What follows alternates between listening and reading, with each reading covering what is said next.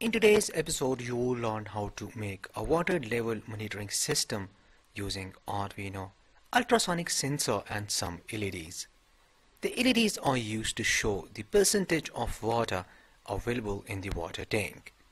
This is a beginner's level project explaining the basics.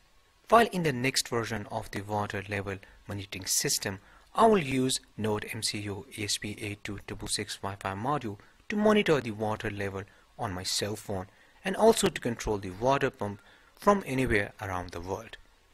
So the next version will be entirely based on today's episode. So I highly recommend you should watch this tutorial from start to the very end.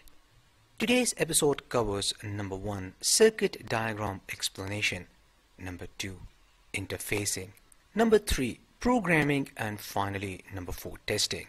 Let's get started.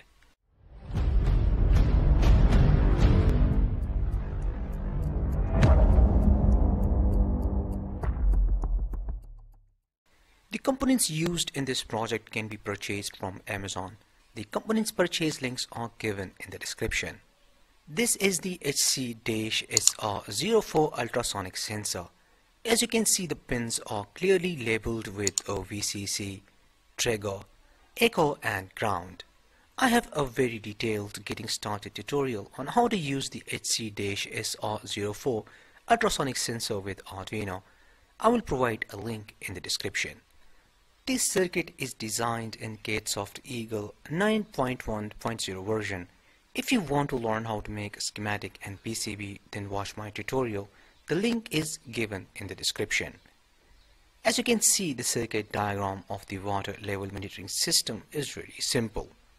The trigger pin of the ultrasonic sensor is connected with pin number 7 of the Arduino while the echo pin of the ultrasonic sensor is connected with pin number 6 of the Arduino.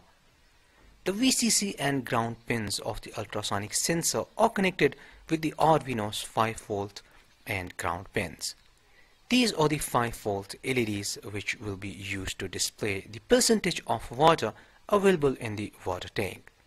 The first LED will show 20%, the second LED will show 40% and so on. So the last LED will show 100%. These are the current limiting resistors which are connected in series with these 2.5 volt LEDs. I have a very detailed tutorial on how to calculate the value of the current limiting resistor. You can find a link in the description. These LEDs are connected with the Arduino's analog pins A0 to A4.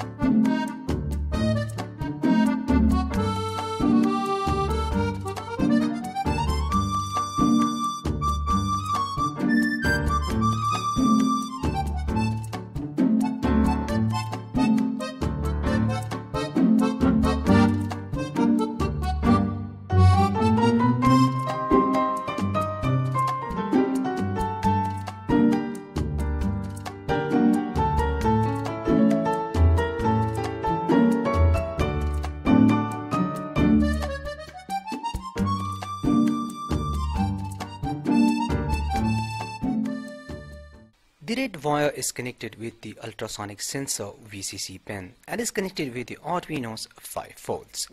The black wire is the ground wire and is connected with the Arduino's ground. The green wire is connected with the trigger pin of the ultrasonic sensor and is connected with the Arduino's pin number 7.